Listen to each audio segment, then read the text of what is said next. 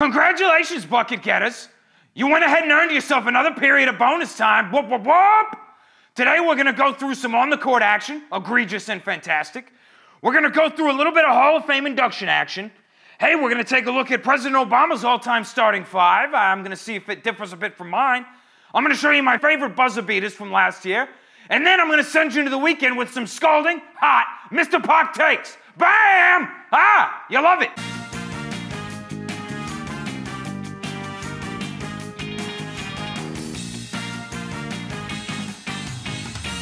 Bonus time.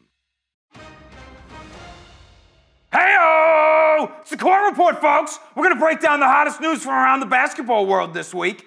And I'm going to start off with something pretty bad because it's been on my mind. I mean, this is egregious. It's just terrible. I've been waiting all summer for hoops to come back in the NBA, and all I get is this Kyle Kuzma, Ben Simmons disaster. Why is this on my timeline? At least in the WNBA Finals, we've been getting some crisp ball. Hey, fellas, this is what a great shot making ability and some good defense actually looks like. This is something worth watching. Hey, at least off the court, we had something exciting. Hall of Fame induction. We had Vince Carter and Chauncey Billups go in. But the star of the show is the logo Jerry West, the legend, the very first three time Basketball Hall of Famer. I don't know if there's anybody else who deserves it more than him. He's a true legend and RIP to one of the greatest guards of all time. Hey, we miss you, Jerry. Keeping it off the court action, former President Obama gave his all time starting five this week. Let's take a look. I'm basketball fan Barack Obama. I'm going to talk about my favorite starting five. If I just put together a team where I would enjoy watching it and I think they'd beat anybody. I'm from Chicago. MJ, Michael Jordan at shooting guard. I'd put LeBron at point forward. A bunch of times he'd be bringing up the ball and he'd be distributing. He'd basically be doing some of the stuff that he didn't recently in the Olympics, and that is a pretty good approximation of what Magic Johnson could do. But I want a little shooting and a little flair. I'm going to put my friend Steph Curry into the mix because we're in the three point era, and he is the greatest shooter of all time, bar none. At center, I'm going to put Hakeem the Dream Olajuwon, whose game I think translates to today's game.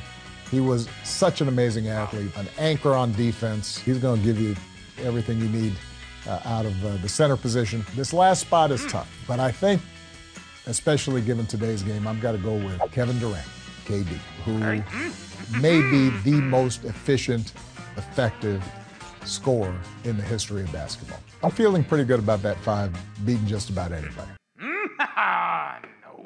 Dang it. I can't beat it. I can't make a better one. I can make some nitpicks, I can make some even swaps, but caps off to the prize. It's a dang good starting five. Pop-A-Shotters! Today we're going to talk a little of the basics with the ABCs of Pop-A-Shot. Thank you. Today we're going to talk about the letter B for buzzer beater. Bang! Bang! Every Pop-A-Shotter knows that the buzzer beater is a crucial part of the game. It's what gets you to that next bonus time period. It gets you to that elusive high score, and it's what puts your heated rival in the dirt where they belong with a loss. You know what it takes to get that shot off at the last second and get it through the rim for the important high scores. Hey, let's take a look at my favorite buzzer beaters from last season and see which one of them would look good on your Pop-A-Shot at home. Five. Missed free throw. Four for the rebound. Here's Pritchard. He loves these. Puts it up half court of the buzzer. Bang! Pritchard at the buzzer with a three-pointer. Four. Jokic has it. Clock ticks. Got to put one up. Jokic for the win. Oh! It's good! Jokic got it off in time! 5.2 left. No timeouts left for the Bucks. Here comes Dame. Three seconds. Dame pulls for the win. Oh, Dame time. Two. Looking in for Irving. Irving for the win. Oh my! Oh my! A southpaw finish from Kyrie Irving. One. They have to go 94 feet. Strus from midcourt. Oh! Do you believe this? Buzzer beater. Hmm. Are we filming? Are we recording? That's red. Does that mean it's off? Not to be the nagging parent, but just a quick reminder we're running out of time on the Dizzy Bat Challenge.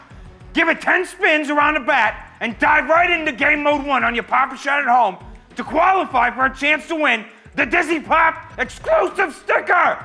It's a good one, I promise. It looks great. Now, finally, what you've all been waiting for, the hot take to send you into the weekend, angry or happy. Angry if you're a Knicks fan, spoiler alert, because I got my most overrated NBA team of the summer as the New York Knicks.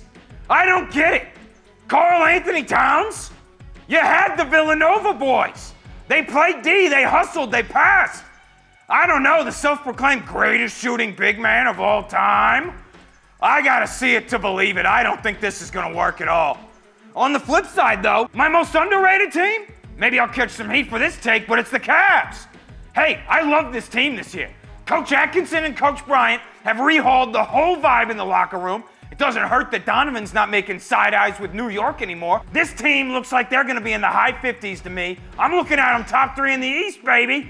That's the hot takes from your boy, Mr. Pop. Take them into the weekend, spread them around, sound off if you think I'm wrong. I can't wait to tell you why you are incorrect. Thanks for watching, Hoops Heads. Click below to subscribe for even more primo Pop-A-Shot content on YouTube. Keep playing and shoot for 100.